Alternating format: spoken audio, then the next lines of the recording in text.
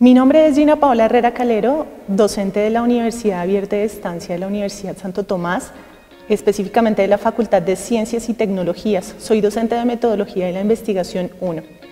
En esta oportunidad les voy a contar sobre el proceso de investigación, los principales elementos que se trabajan en el proceso de investigación. Podríamos hablar de una primera fase del anteproyecto. Vamos a centrarnos y a concentrarnos en, identificar los principales aspectos del problema de investigación y por qué el problema de investigación es el centro en esa primera fase de diseño metodológico de la investigación. Bien, como podemos ver en el esquema, los elementos principales del planteamiento de, de, una investigación son el tema de investigación, el problema, los objetivos, la justificación, el marco referencial y el diseño metodológico. En esta primera parte vamos a reconocer los principales elementos del proyecto investigativo en los que nos concentraremos en el problema de investigación. Es importante identificar en el esquema que normalmente un proceso de investigación se desarrolla partiendo de un tema de investigación, después planteando un problema, definiendo unos objetivos, eh, determinando una justificación, un marco referencial y luego el diseño metodológico. Aquí hay un asunto importante que se quiere resaltar y es un asunto metodológico precisamente. Y es que cuando normalmente se llega a la parte del diseño metodológico o incluso a la sustentación de un proyecto de grado o de una investigación o la presentación de algún informe final, algunos expertos o tutores o jurados encuentran una dificultad y establecen que ese problema investigado sobre el cual se están presentando resultados no era un problema investigar. Es un asunto común y es un asunto que normalmente no se define en el proceso investigativo, es decir, no se concentra la atención en el problema de investigación, siendo este el centro, por lo menos de esta primera fase, y siendo el pretexto o, o la parte fundamental que se tiene que desarrollar en todos los elementos de la investigación. Es así como podemos partir de una idea fundamental y es que si hay un problema en la investigación, este es el problema, si hay un problema en el proceso investigativo o algún asunto al que prestarle atención, es el problema de investigación. Eh, el proceso que nosotros llevamos a cabo en formación en metodología de la investigación 1 aporta y apunta a que los estudiantes no solamente o no principalmente reconozcan los elementos de la investigación conociendo su conceptualización o su estructura o cómo se realiza, sino que identifiquen como experiencia del proceso investigativo que la definición de los diferentes elementos de la investigación, por eso presentamos esta primera parte, cuentan con una relación directa con el problema. Esto quiere decir que cada vez que vaya avanzando el proceso investigativo eh, es necesario devolverse o enfatizar o cambiar o ajustar elementos propios del problema de investigación. Entonces, reiteramos, normalmente se define primero un tema de investigación, se elabora un problema, se elaboran los objetivos y la justificación, un marco referencial y todo ello de forma secuencial. Aquí la idea fundamental parte de entender qué es un tema de investigación y un problema, que es en donde nosotros vamos a hacer fuerza el día de hoy para luego explicar metodológicamente cómo es el entramado y la relación, por lo menos en los elementos hasta la justificación, directamente con el problema y con el tema de investigación. Entonces, ¿qué es un tema de investigación? Y esto lo encontramos normalmente en los libros de texto, pero es importantísimo detenernos un momento y dar claridades sobre qué es el tema de investigación. El tema de investigación está presente normalmente en el título, pero cuando está en el título y cuando decimos cuál es mi tema de investigación, no estamos necesariamente haciendo referencia, o por lo menos no de forma explícita, a qué problema vamos a investigar. Entonces, un tema de investigación debe corresponder a los intereses principalmente del, investigador. Sin embargo, no solamente debe estar ligado a esos intereses del investigador. Por ejemplo, si yo quiero investigar sobre cómo eh, afecta la televisión al desarrollo de mi hijo, pues ese es un interés particular. Pero si yo estoy parada desde un de una disciplina o desde un conocimiento, por ejemplo, de la administración de empresas, pues no tendré las bases sólidas eh, teóricas o metodológicas para resolver la cuestión de la relación entre la televisión y el desarrollo emocional, afectivo, físico, cognitivo de los niños. Y tampoco, en ese sentido, podría estar haciendo un aporte significativo a esa disciplina.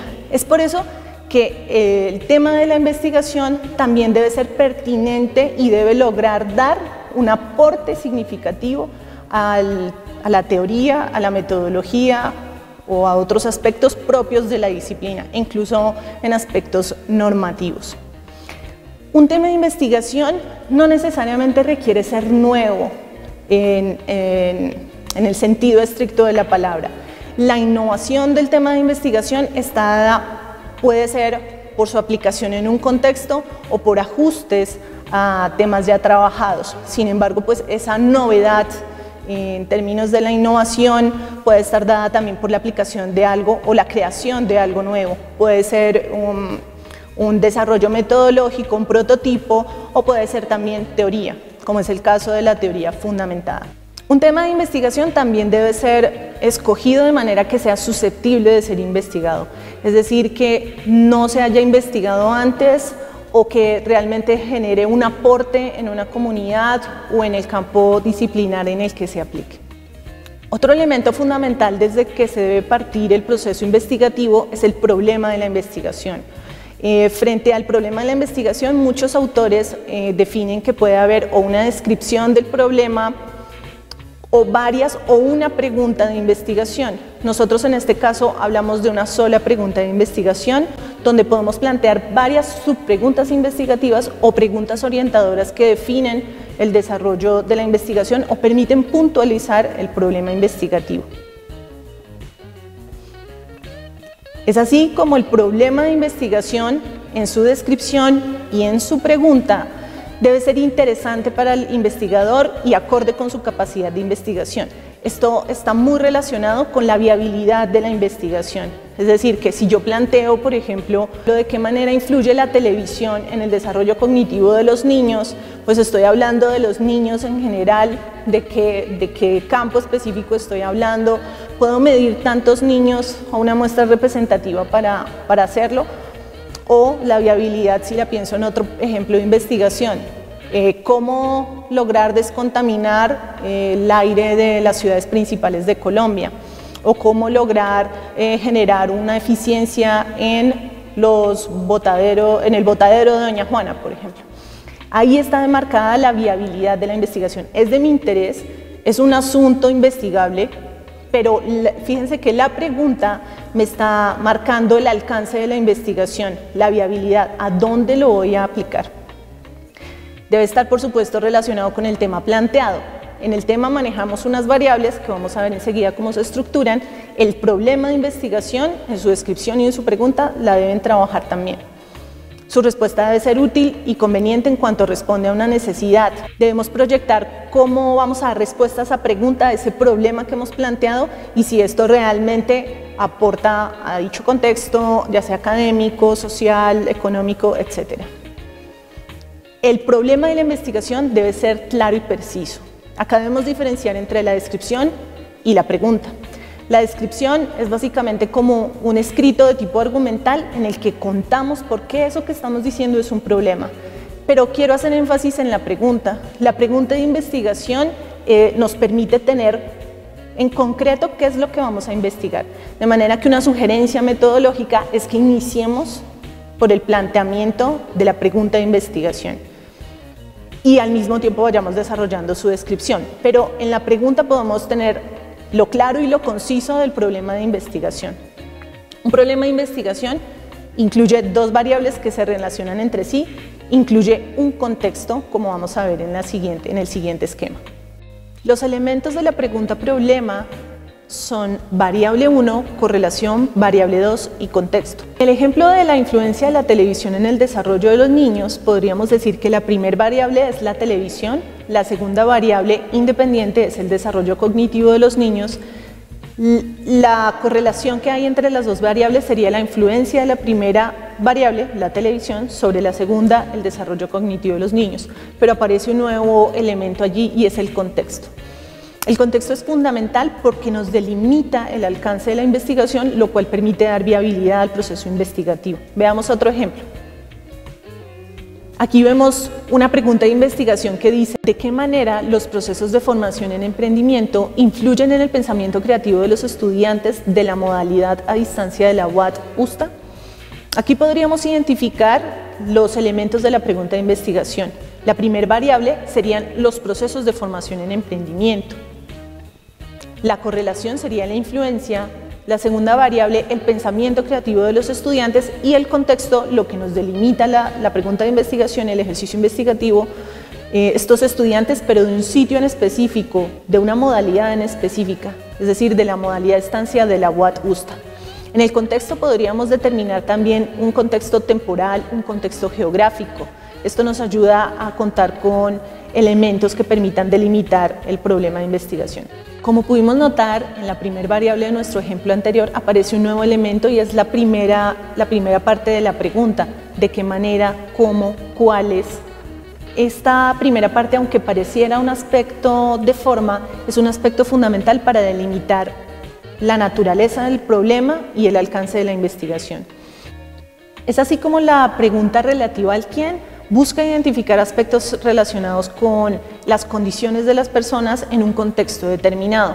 Relativo al dónde, condiciones de un lugar pueden ser geográficas, sociales o históricas. Se indaga específicamente por el contexto. Relativo al por qué, busca indagar sobre causas o explicaciones de una situación en particular o de un fenómeno.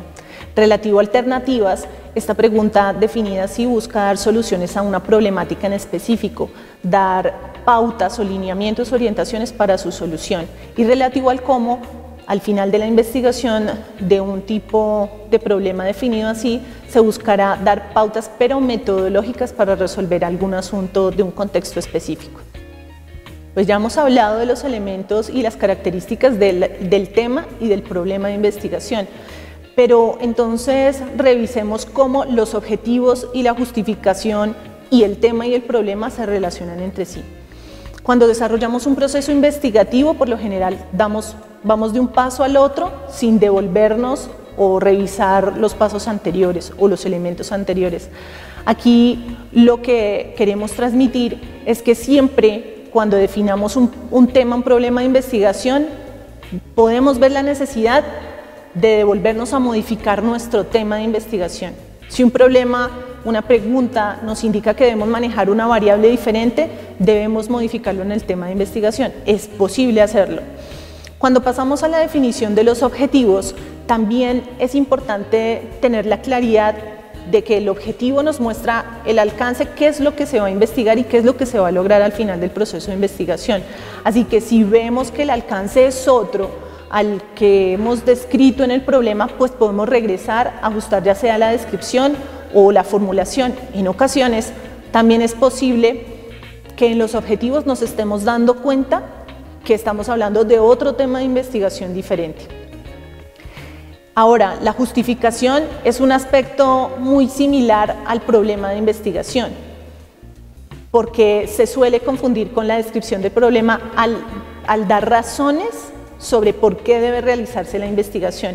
Es un escrito también eh, con una estructura argumental, por lo cual se confunde. Así que es posible que cuando realicemos la investigación puntualicemos aspectos del problema. Pero lo clave es entender que cuando estemos en este punto de la justificación del marco referencial y por supuesto del diseño metodológico, el problema debe estar definido de forma absolutamente clara eh, ya bien definida para que no malgastemos tiempo si decidimos o encontramos en un diseño metodológico o en una sustentación que el problema que estábamos investigando ya había sido, ha sido resuelto por otros investigadores. Los invitamos a revisar eh, demás conceptualizaciones específicamente sobre los objetivos, sobre la justificación y el marco referencial, todo esto como base del diseño metodológico de la investigación.